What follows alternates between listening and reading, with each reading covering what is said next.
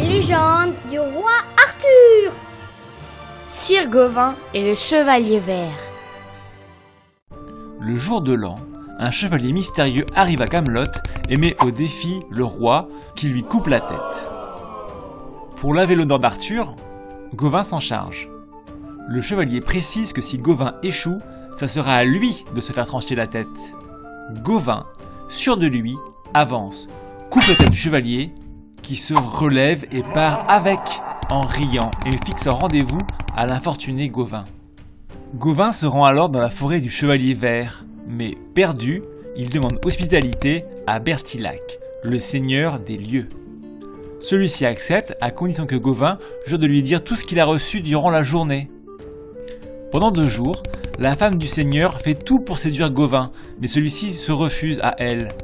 Au troisième jour, fatigué par ce petit jeu, il accepte un baiser. Mais elle en veut plus. Gauvin refuse. Elle veut lui donner un gage d'amour et lui donne une écharpe verte qui le protégera de toute blessure, notamment contre le chevalier vert. Gauvin accepte. Le soir même, il avoue à Bertilac avoir reçu un baiser, mais ne dit rien pour l'écharpe. Il part alors du château pour retrouver le chevalier vert. Le chevalier vert abat son arme sur Gauvin. Bon, en vrai c'était une hache. Et il s'arrête sur son cou, ne lui faisant qu'une petite entaille.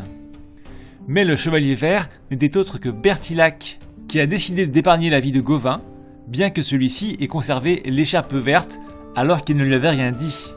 En effet, vouloir rester en vie paraissait naturel pour Sir Bertilac. Il considérait ainsi Gauvin comme le chevalier le plus intègre et le plus pur qu'il n'ait jamais rencontré.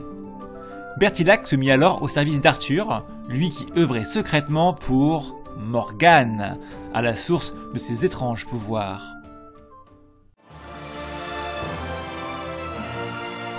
Et pour ne rater aucun épisode, abonnez-vous